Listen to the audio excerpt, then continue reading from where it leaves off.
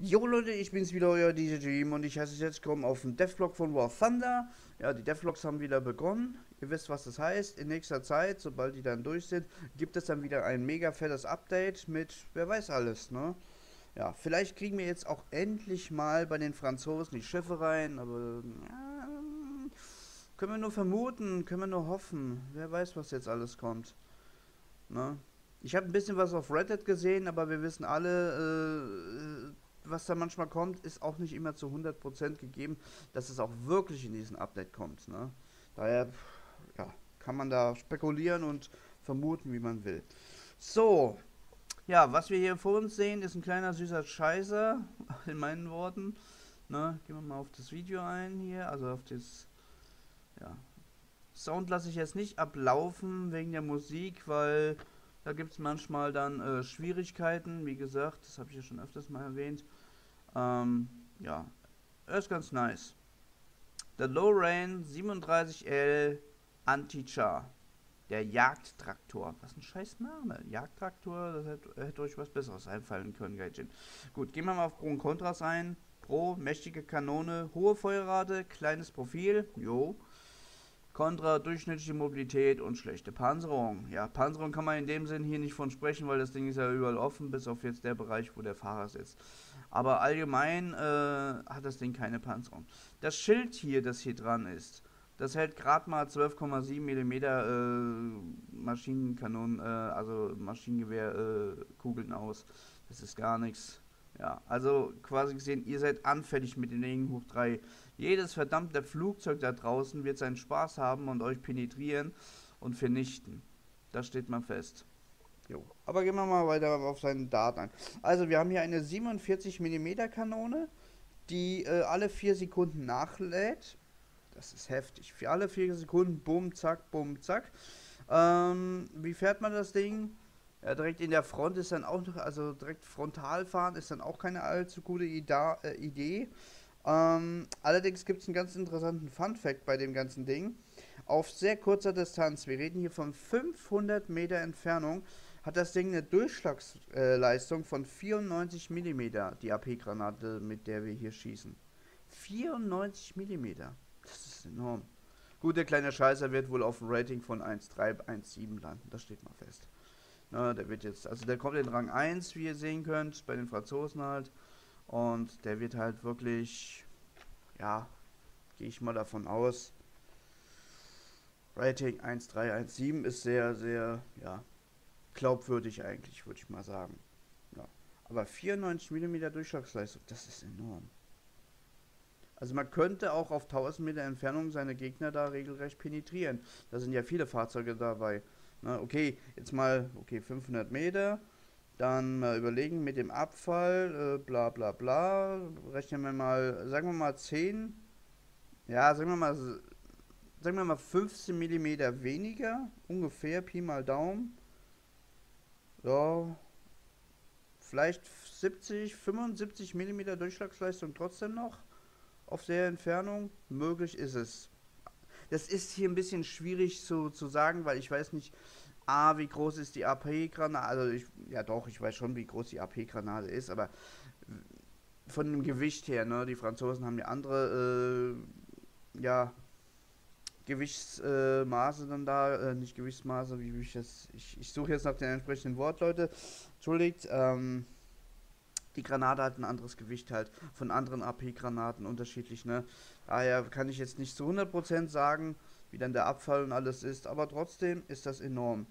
Also man kann mit dem Ding in die Front fahren und regelrecht da arbeiten, aber man kann auch damit rechnen, dass man sofort stirbt. Mal dazu. Ja, wir sind übrigens mit 35 km/h unterwegs. Das ist jetzt nicht gerade die Welt für den kleinen Scheißer. Ähm, so wie ich ihm das ansehe, würde ich mal sagen, der Rückwärtsgang ist die absolute Höllenscheiße. Ein Albtraum, würde ich eher behaupten. Ja, der Schwenkbereich ist allerdings enorm. Also wie es hier steht, der Schusswinkel, gut, für die, viele können damit nichts anfangen. Ich sag's mal so, ihr könnt enorm den Winkel machen. Also ihr könnt hier enorm nach links und rechts, so wie es aussieht, sieht gar nicht mal so, ja, ich würde mal sagen 30 Grad nach links und rechts. Vielleicht sogar ein bisschen mehr, vielleicht sogar 45 Grad. Ne? Das kann man jetzt nicht so genau sagen, wie das da, doch, guck mal. Das sieht sogar aus, als wäre es komplett auf der Rundung. Ne, hier komplett drauf, obwohl ich weiß nicht, wie das miteinander verbunden ist. Ähm, ja, also trotzdem, sagen wir mal 30, 45 Grad links und rechts. Das ist ungefähr so grob, ne? Grobe Angabe. Ganz grobe. Ja, ansonsten finde ich ihn ganz nice. Also ich freue mich auf ihn und werde dann auch meinen Spaß haben mit ihm. Mal sehen, was er drauf hat, ne? Immerhin bei 94 mm. What the hell, ey. Da geht ja, da geht ja jeder Panzer kaputt. Hm. Ja. Ganz nice. Das einzige Nachteilige ist halt, jedes Flugzeug, jedes Maschinengewehr macht mir einfach nur zu viel Schaden oder andere Geschosse. Naja gut, was willst du machen? Das ist halt so. So, dann gehen wir jetzt schnell zum nächsten über. Ja. Ein sehr seltsamer, hochmoderner Panzer. Guckt euch mal diese Wölbungen hier an. Das sieht echt schräg aus. Also sowas habe ich noch nie gesehen. Bei, also mindestens... Nee, ist mir noch nicht untergekommen ich noch nie bei einem Panzer gesehen. Das ist so schräg, das sieht echt, der sieht echt schräg aus. Ja, der VFM5 von den Briten. Ein leichter Panzer, ein sehr trotzdem schräg aussehendes Modell. Also, ja, der schönste auf dem Ball ist er nicht. Das kann man ja eindeutig sagen. Der schönste ist er jetzt nicht. Aber Mal sehen, ob er seinen Zweck erfüllt. Ne? So, gehen wir mal auf Pro und Kontras ein. Aber vorher, wie gesagt, Briten, Rang 6 wieder auftauchen. Ne? Ist ein leichter Panzer, wie gesagt. So, Pro, die renommierte Kanone 105 mm. Das klingt schon mal enorm. Da werden wir bestimmt ganz geile Munition verschießen können. Und gute Mobilität, Contra leicht gepanzert, ja, wortwörtlich. Ähm, in der Front hier sollen äh, zusätzliche Panzerplatten sein, aber die halten auch nicht allzu viel aus. Also alles in allem gesagt, ist er kaum gut gepanzert, aber weil er ein leichter Panzer ist, wird er über die Spotting-Funktion, die wir haben, äh, verfügen. Das heißt, ähm, Vorgehensweise mit so einem Fahrzeug kann ich dann eher sagen, nicht direkt in die Front fahren, sondern eher so ein bisschen in die Flanken fahren. Gegnerische Panzer spotten, ne, markieren für die Gegner, äh, Gegner, für euer Team, entschuldigt, falsche Aussage. ja, ich bin so ein bisschen durch den Wind heute. Ähm, markiert ihr einfach für eure Leute die ganzen Panzer und ab und zu, wenn da mal ein Gegner unvorsichtig ist, ne, einfach mal hinter der nächsten Ecke vorluken und bumm und zack ist er weg. Ich würde mal sagen, weil der, wie ihr sehen konntet, auf Rang 6 rangiert, würde ich mal sagen, können wir mit dem Ding auch Pfeilmunition verschießen. Zumindest hoffe ich das sehr stark. Heat-Munition ist natürlich, also Heat FS ist natürlich äh, Standard. Das wurde ja so eingestellt. Das werden wir auf jeden Fall tun können. Allerdings auf Rang 6 würde ich sagen, ist man mit der Heat FS jetzt voll der Angeschissene. Ja, der ist man voll der Angeschissene, daher. Hm. Ja, dann gehen wir mal auf mehrere Daten äh, zu ihm ein. Wir haben noch äh, ein Maschinengewehr vom Kaliber 7,62 mm. Das ist hier irgendwo im Turm verbaut. Da an der Stelle, glaube ich, war das. Kann man das hier irgendwo sehen? Ne. Da, ne, da glaube ich irgendwo, irgendwo ist es hier verbaut. Oben auf dem Dach haben wir noch eine 12,7 mm Maschinengewehr verbaut gegen Helikopter. Also wir sind gegen Helis und Jets eventuell ein bisschen, bisschen gesaved. Ein bisschen, ne? Man muss halt auch kurz ziehen können, das ist eine andere Geschichte. Ja, aber die Besonderheit ist bei ihm 72 km/h. Er ist sehr schnell. Sehr, sehr schnell. Also ich kann nur sagen, er wird sehr interessant sein, auch wenn er echt schräg aussieht, das ist jetzt mal ehrlich.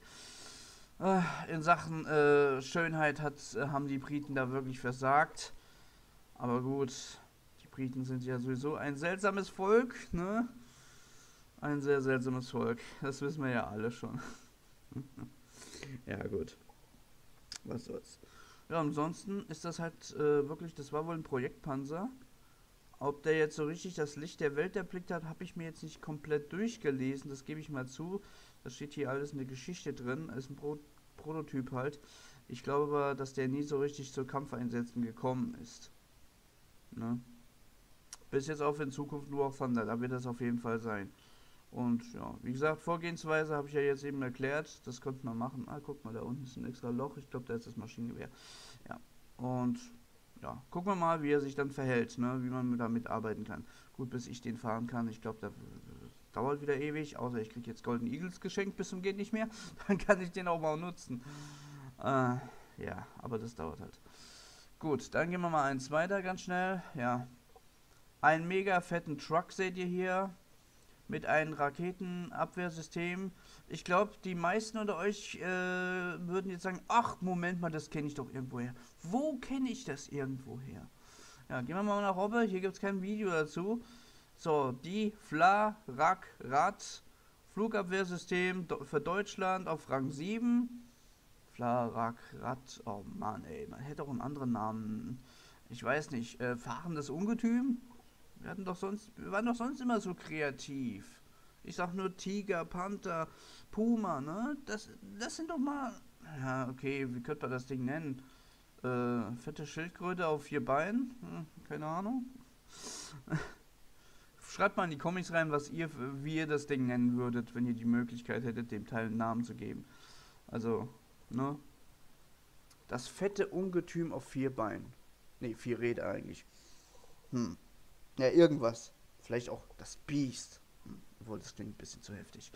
So, Pro und Kontrast. Gehen wir mal drauf ein. Roland 3 Flugabwehrraketen und wir haben äh, die VT1 Raketen mit einer Reichweite von 12 Kilometern. Im Prinzip sind das alles beides Luft-Luft-Raketen, mit denen man sehr schön arbeiten kann. Die Roland-Raketen, die kennt ja wohl jeder schon. Ne? Zumindest jeder Zweite hat das Ding auf jeden Fall schon mal hier kennengelernt. Damit kann man natürlich sehr schön Helikopter, Jets, alles so, so schön äh, abfeuern. Außer sie haben jetzt entsprechend äh, Flares dabei, dann, dann, naja gut, dann hat man halt Pech gehabt. Oder sie sind außer Reichweite, ist auch so ein Punkt. So, Contra, riesige Silhouette, ja, den übersiehst du wirklich nicht. Schwache Panzerung, mittelmäßige Mobilität. Ja, also den kann man nicht übersehen. Er ist auch im Grunde ist er gar nicht gepanzert. Was wir hier alles verbaut sehen, das, das hält vielleicht ein Maschinengewehr vom Kaliber 7,62 oder vielleicht sogar 12,7 aus. Aber alles, was äh, da drüber ist, äh, geht da voll durch. 20 mm Kanonen haben hier keine Problematik. Ne? Die ziehen hier komplett rein. Und äh, daher, dass auf diesen hohen Rang, ne, hier Rang 7, ich würde mal sagen, den stufen sie auf 10.0 dann ein mit Rating, ähm, fliegen da schon viele Jets rum, die haben unterschiedliche Kaliber von 12,7 bis 30, ne? Es gibt sogar, warte mal, welcher Jet war das von den Russen? Ich weiß nicht mehr. Ich glaube, das war irgendeine MiG, die 45er geschossen äh, von sich lässt. Also, äh, ja. Daher, dass hier in diesem Bereich hier die Raketen gelagert werden. Ja, ist ja wohl klar, wo man hinschießen muss, ne? Nicht aufs Führerhäuschen, das ist scheiß drauf, ne. Einfach hier in die Mitte reinschießen, schon hat man den ganzen Salat auseinandergeschossen. Ja, ja, so, zu ihm gibt es ein paar kleine Infos. Äh, wir haben Wärmebildkamera und wir haben ein Laserentfernungsmesser mit dabei. Ähm, ja, ist eigentlich mal so nicht schlecht, ne? Und ja, jeder Zweite würde da draußen jetzt sagen, juhu, die Deutschen bekommen wenigstens mal was. Äh, wir werden ja öfters mal auch übergangen. Ist ein bisschen schade, aber ist halt nun mal so, ist halt auch, keine Ahnung. Wir haben aber auch sehr viel, muss ich sagen. Allerdings fehlt auch noch vieles. Puma fehlt immer noch. Wo bleibt der denn, hä? Wo bleibt unser heißgeliebter, hochmoderne Puma? Ja, kommt vielleicht noch dieses Jahr. Hoffen wir es mal. Wer weiß es schon. Ja, puh, naja. Ja, von ihm bin ich jetzt nicht so der Begeisterte, das merkt ihr aber auch. Ähm, ich, ich mag schon Luftabwehrfahrzeuge, äh, aber dieses, diese Art von, ja, erstens komme ich selten in Genuss von sowas, zweitens bin ich jetzt nicht so der Fan davon. Ja, aber Vorgehensweise, falls sich das einer fragt von den Neulingen da draußen, wie soll ich mich mit dem verhalten und äh, mach, hinstellen, ganz einfach, ihr spawnt, ihr fahrt ein Stückchen zurück, damit nicht jemand auf euch drauf spawnen kann. Nicht, dass dieser Fehler nochmal existiert. Möglichkeit besteht, ne? Und dann äh, bleibt ihr einfach hinten. Ne? Und jedes Mal, wenn ein Jet auftaucht, ne, ihr wisst ja, wie man da vorgeht. Im Arcade oder im Realistisch. Bei Simulator weiß ich es ehrlich gesagt nicht so ganz.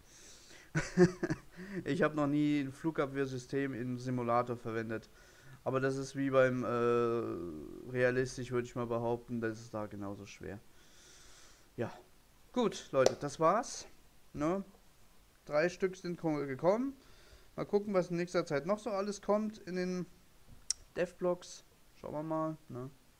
Bin in der Hoffnung, dass wir noch ein paar Zweite Weltkriegssachen kriegen. Wieder kleine Scheiße jetzt hier. Also nicht nur Panzer, sogar auch Flugzeuge.